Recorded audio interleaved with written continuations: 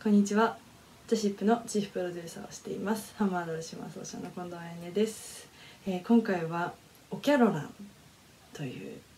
えー、アイルランドの最後の銀運詩人と言われている方の曲を1曲ご紹介します、えー、名前はオキャロランドラフトという曲なんですね。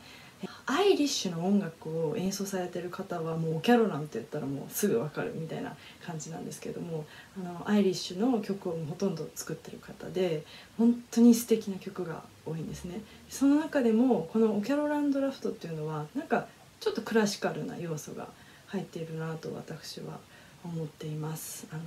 原曲の調整はミフラットっていうね S ドゥア。フラットがミファソラシドレミ3つつくんですよでピアノだとまあまあまあそんなに難しくない調合なんですけどこのハンマーダルシマーでやるとこんな感じになっちゃうんですね。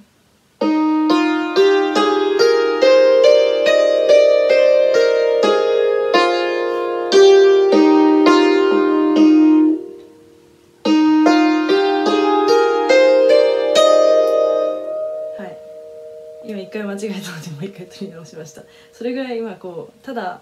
音階をやるだけも少し難しい調合なんですけどもその、まあ、ドラフトっていう曲はその S ドアでできてますで、まあ、そのちょっと難しさも私は変にはまってるっていうとこもあるんですけども、まあ、何よりその旋律が素敵なのであの今回は伴奏もつけずにメロディーだけあのシンプルに演奏してますので是非楽しんでいただければと思います。それではオキャロランドラフトお聴きください。